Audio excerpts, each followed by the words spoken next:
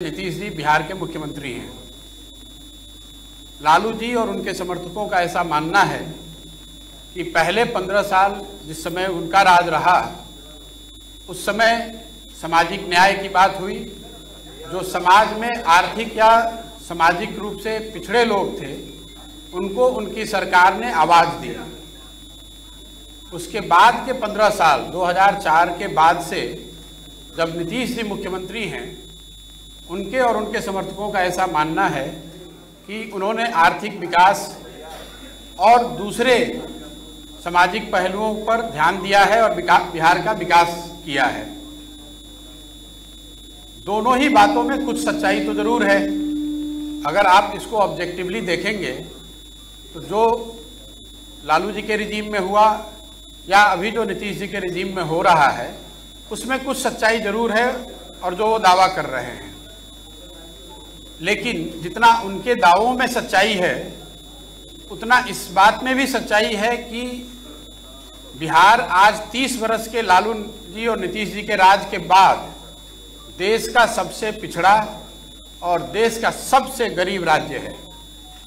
इस सच्चाई को कोई झुठला नहीं सकता है। विकास के ज़्यादातर मानकों पर बिहार आज भी देश के सभी राज्यों में सबसे निचले पायदान पर है। इसलिए अगर आगे के 10-15 बरस के रास्ते को आप देखेंगे तो ये तो तय है कि जिस रास्ते से आप आए हैं पिछले 10-15 सालों में, वो रास्ता आपको वहाँ पर नहीं पहुँचा सकता है। आने वाले 10-15 बरस और अगर उन वर्षों में बिहार को अग्रणी राज्यों की श्रेणी में आना है तो जिस रास्ते पर ये राज्य पिछले 10 साल 15 साल या 20 साल से चल रहा है, उन रास्तों पर चलकर हम वहाँ नहीं पहुँच सकते हैं। स्वाभाविक है कि उसके लिए एक नई सोच और नए प्रयास की ज़रूरत है। अब ये विवाद और बहस का मुद्दा हो सकता है कि वो नई सोच और नया प्रयास कौन करे और किसके पास है। मेरा ऐसा मानना है कि कोई भी व्यक्ति ये दावा नहीं कर सकता है कि ये सोच और प्रयास करने का, की सारी क्षमता किसी एक व्यक्ति विशेष के पास है।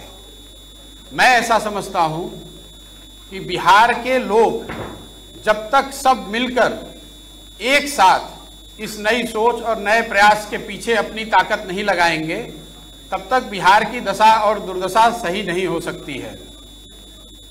इसलिए मैं ऐसा मानता हूँ कि आने वाले दिनों में और आने वाले समय में बिहार के वो लोग जो इस धरती से जुड़े हैं, जो यहाँ के मुद्दों को समझते हैं और जिनमें यहाँ की समस्याओं को सुलझाने की क्षमता है और उससे बढ़ के आने वाले वर्षों में बिहार को बदलने का जिनके पास जज्बा है, जो बिहार को बदलना चाहते हैं, वो सारे लोग और या उनमें से ज़्यादातर लोगों को एक साथ आकर कोई नई प्रयास करने की ज़रूरत है।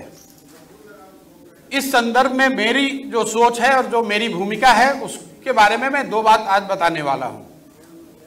जैसा कि आप प्रेस में या अदरवाइज़ कई जगह मीडिया में स्पेकुलेट किया जा रहा है कि मैं कोई राजनीतिक पार्टी बनाने वाला हूँ या मैंने कोई राजनीतिक मंच बनाया है, ऐसी कोई घोषणा मैं आज नहीं करने वाला हूँ। मेरी कोशिश ये है और मेरी भूमिका आने वाले दिनों में ये होगी कि ये जो लोग, जो जिनको मैं कह रहा हूँ, जो यहाँ के सामाजिक और राजनीतिक जीवन से जुड़े हुए हैं और जो यहाँ की मिट्टी को, यहाँ के मुद्दों को, यहाँ के समस्याओं को समझते हैं, उनमें से एक बड़ा तबका उनसे मिलना, उनसे समझना और उनको एक साथ एक प्लेटफॉर्म पर लाकर खड़ा करना पहली मेरी भूमिका का पहला जो लक्ष्य है वो ये है। मैं मेरे साथियों के साथ पिछले चार पाँच महीनों से हम लोगों ने करीब सत्रह, साढ़े सत्रह हज़ार ऐसे लोगों को चिन्हित किया है, उनसे संपर्क बनाया है।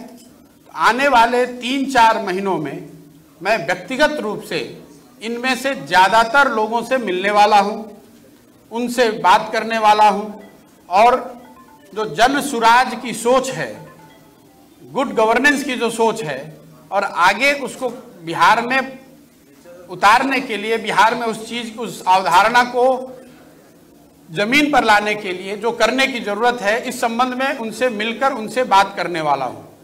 गुरु समीर जी। नमस्कार।